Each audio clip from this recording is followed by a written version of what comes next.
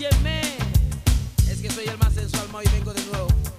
Hola mi gente, este domingo en vivo y a todo color a través de Rituca Online. Renato, la historia de cómo comencé como artista y como DJ con el más grande electrónico en vivo a todo color. Este domingo, ¡pra!